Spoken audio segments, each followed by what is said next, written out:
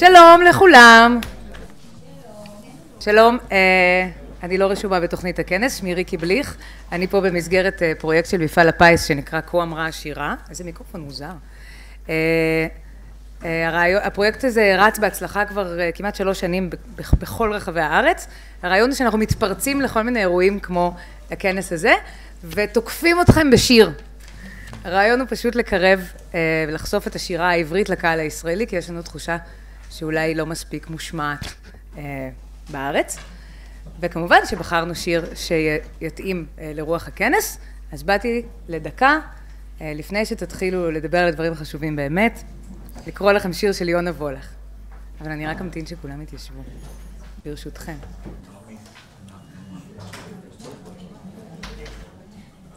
התחלתי מוקדם מדי.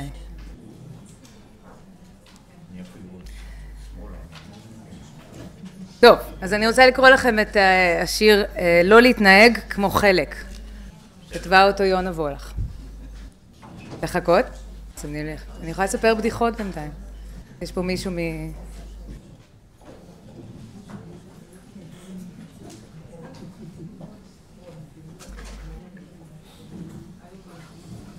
לא להתנהג כמו חלק.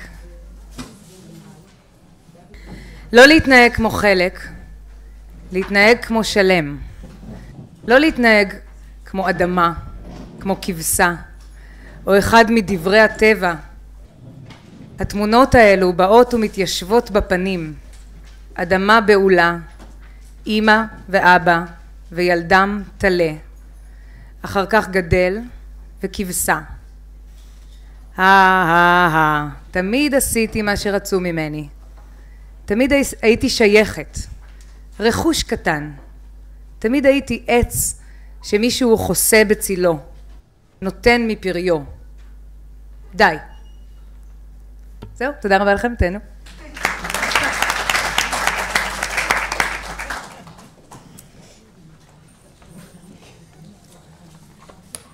אז אה, בעקבות יונה וולך, אנחנו לא רוצות להיות תמיד כמו שמצפים מאיתנו. אה, גם לא בשיח הפוליטי וגם רוצות להשפיע. המושב השני שלנו אה, יעסוק בפער מגדרי בהצבעה וההשלכות הפוליטיות, אה, הפוליטיות שלו. אני חושבת שזה חיבור ישיר למה ששמענו במושב הקודם, שכמובן אי אפשר לסכם אותו במילים בודדות, כי הסיפור הוא תמיד יותר מורכב, אבל אני כן רוצה לקחת כמה, כמה אה, אמירות שנאמרו במושב הקודם כדי לחבר את זה לשאלה באמת של ההשלכות הפוליטיות, ואחר כך להעביר את זה לדו, כמובן אה, אה, לדוברים. אורית, פרופסור אורית קדר אמרה, הצבעה נשים היא הצבעה רגישה יותר לסוגיות כלכליות וחברתיות. אה, כאשר אני לוקחת את, ה, אה, את האמירה הזאת בהקשר יותר רחב, אומרת שהבחירות האחרונות היו בכלל בסימן של נושאים כלכליים חברתיים, במידה רבה בהשפעה של, של אה, של המחאה החברתית, ואגב הממצאים של המחקר שלי ושל יוסי דוד מראים שהנשים והגברים שהיו ב, היו פעילים במחאה השפיעו השפיעו על השיח, אבל בעיקר היו גם אלה שהיו הכי הרבה מעורבים ולקחו בסדר היום הפוליטי שלהם את הסוגיות החברתיות, אבל גם שם היה פער מגדרי. כלומר, אנשים לא רק הובילו את המחאה והביאו אל השיח סוגיות שנוגעות לחיי היומיום, אלא גם אה, אה, היו אה, ברורות יותר וחדות יותר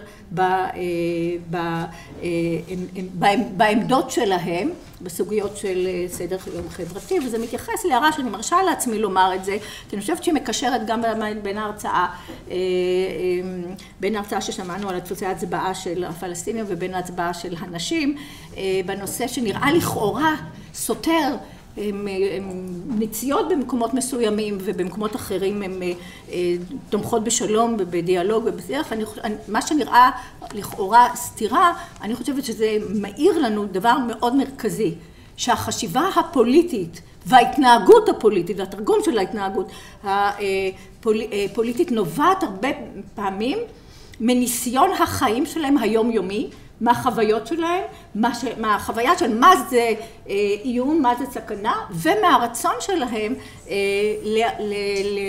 לאתגר או להציע שיחים אחרים. והשיחים האחרים במקשר שלנו לפחות בבחירות האחרות זה באמת הנגיעה יותר חזקה לחיי היומיום, למה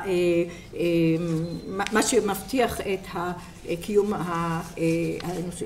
אין לי את הזמן להרצאה אבל אני נותנת חומר למחשבה שלפעמים מה שנראה כסתירה, אם אנחנו מביאות את המבט המגדרי ואת ההבנה של איך נשים חוות את העולם, אז יכול מאוד להיות שגם הפרשנויות שאנחנו נותנים לתופעות החברתיות מקבלות מימדים חדשים. וכמובן זה קשור, הכל מתקשר למשהו רחב יותר שאנחנו, היום שאנחנו מדברות עליו הרבה וזאת האסטרטגיה שהיום השיח הפמיניסטי והתנועה הפמיניסטית מביאה לסדר היום הפוליטי שזאת אסטרטגיה של הטמעת חשיבה מגדרית.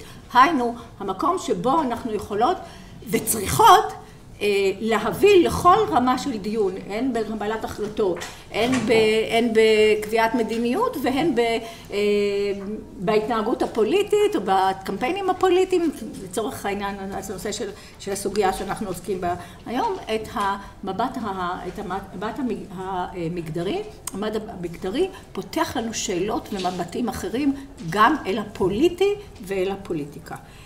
ובהקשר הזה עוד משפט אחד שמכוון אותי אנחנו מדברים כל הזמן בבינאריות הזאת של גברים נשים ולמעשה החשיבה שלנו שעוסקת בהטמעת חשיבה מגדרית שבאה מה, מהשיח הפמיניסטי העכשווי מאתגרת, מאתגרת נקודה.